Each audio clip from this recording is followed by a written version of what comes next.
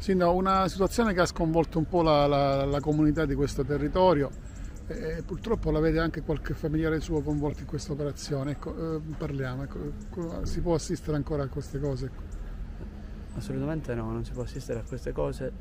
L'amministrazione comunale ieri ha rilasciato proprio un comunicato stampa dove ha espresso massima vicinanza, solidarietà e soprattutto ha sostenuto le due ragazze per, eh, per, tutto ciò che è accaduto. Noi ovviamente non vogliamo sostituirci agli organi inquirenti, non possiamo nemmeno dire nulla ed entrare nel merito della questione, ma quello, il quadro che oggi ci troviamo è un quadro allarmante per eh, una comunità, una comunità che stava cercando di sorridere, anzi che era, cercata, che era tornata a sorridere, ma purtroppo si ritrova oggi a vivere un giorno dopo veramente brutto e angoscioso per la nostra comunità. Avere legami di parentela o familiari coinvolti eh, come dicevo prima non voglio, avere, non voglio, entrare nel merito della questione, voglio credere, voglio eh, pensare che tutti gli imputati abbiano motivo e modo di tutelarsi, eh, di tutelarsi, e di confrontarsi con quello che è il contraddittorio previsto dalla Costituzione, ma quello che posso oggi dire è che eh, uno dei principi più belli del codice penale è che la responsabilità penale è personale e in secondo momento voglio proprio dire che chiunque ha sbagliato è giusto che paghi, soprattutto questo tipo di reato. Ecco, lei dice che si costituirà parte civile nei, nei processi con l'amministrazione. Sì, il comune di Seminara si costituirà parte civile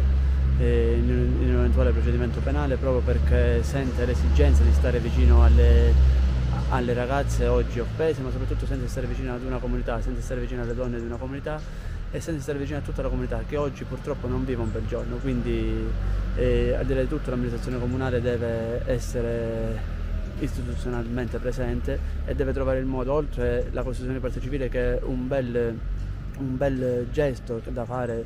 da fare, ma vuole trovare il modo di essere vicino a tutte le vittime, a tutte le donne, a tutti coloro che oggi si sentono offese e, e vuole dire a loro tornate ad avere coraggio, tornate a sorridere, tornate ad avere l'amministrazione comunale come riferimento per qualsiasi possa essere la vostra esigenza, un'esigenza di confronto, un'esigenza di tutela perché l'amministrazione comunale è presente e il sindaco vi ascolta.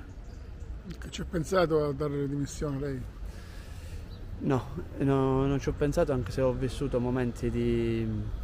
di veramente di angoscia, però non, non, ci ho pensato perché tradirei il mandato elettorale che mi è stato conferito. Un mandato elettorale che abbiamo visto riprendere la comunità, abbiamo tanti progetti in avanti e non me la sento di tradire questa comunità. È normale che sono momenti brutti, soprattutto quando toccano alcune situazioni familiari, sono momenti brutti soprattutto quando eh, ci sono questo tipo di, di reati che comunque danno angoscia e soprattutto fanno capire che c'è uno sfilacciamento sociale, uno sfilacciamento culturale tale da, no, da, da non poter permetterci uno le dimissioni, perché dimissione significa lasciare la spugna, in questo momento non, non, ce lo possiamo permettere, e due dobbiamo cercare di recuperare quello che è il tessuto sociale e quelli che forse sono le vere responsabilità che oggi le istituzioni hanno, non capire questi sfilacciamenti, non capire questi disagi sociali e quindi dobbiamo metterci al lavoro per poter prevenire il tutto, quindi l'amministrazione si impegnerà a prevenire il tutto, l'amministrazione si impegnerà a tutelare tutte le ragazze, tutte le donne, tutti gli uomini che comunque possono essere offesi da qualsiasi tipo di